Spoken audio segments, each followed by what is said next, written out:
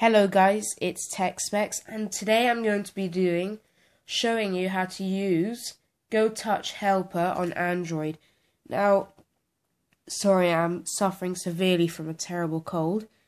For this, you do need Go Launcher EX. I'll be doing loads of reviews for the next week on Go Launcher, how to use it, and it does not require root and it's pretty cool.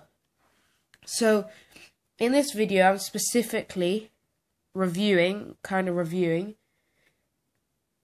Go Touch Helper on Android. So basically what it is is, let me just show you how to get it first, actually, I should always do that. Play Store, Go Touch Helper. You can write it in, just Go Touch Helper, I'll show you.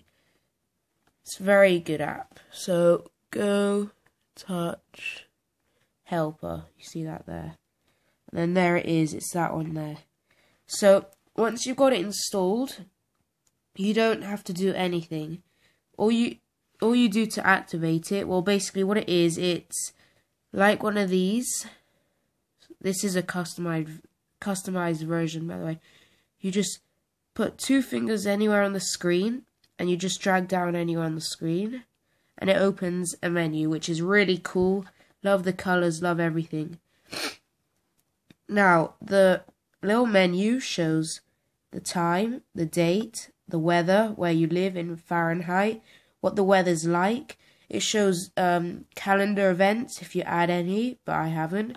It shows who you've, who a text message you've called. Um, sorry, it shows unread text messages and the settings toggle uh, quick settings menu. Then here you have the most the most used apps, my most used apps, and you have Wi-Fi, 3G there, Bluetooth, um, rotation, silent. You yeah, so that's basically it. Then here you have contacts, just contact numbers, which I shouldn't actually be showing, but I know you guys aren't stalkers. So that's basically it. That's practically what it is. I'll show you again. Anywhere on the screen, just swipe down, and it brings you down this really cool sort of menu bar, and the, the tiles move as you saw. Sorry about that. The tiles move as you saw. I'll show that again. As soon as you open it, they move, which is also very cool. So that's basically it. Very short video, great app. You should definitely get it if you're if you use Go Launcher EX a lot, which you can download off the Play Store Market for free. Again, sorry I have a really terrible cold, but that won't stop me making videos.